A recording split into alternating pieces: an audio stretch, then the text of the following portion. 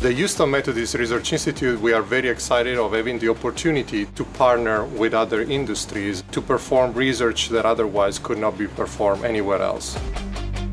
From when we start in the early 2018 our collaboration with the Houston Methodist Research Center, we defined together that the most severe space where it's possible to investigate the behavior of our composite material was the space.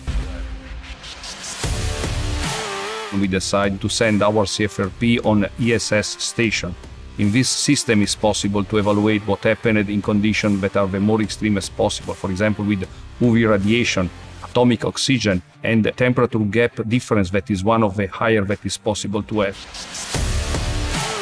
Automobili Lamborghini has a keen interest in testing their carbon fiber material on the International Space Station because it may set the foundation for 3D printed technologies further down the road. For the same reason, the Methodists decided to send the material on the ISS station because also they needed to check what happened in terms of biocompatibility of this material in this extreme condition.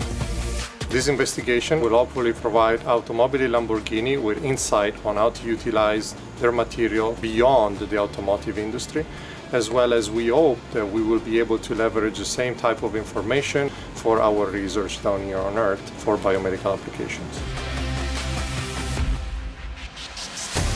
We are very proud about the fact that we are the first car manufacturer to send our material on the ISS station and due to this to guarantee that in terms of performance we have tested our material in the most extreme condition that everybody can imagine.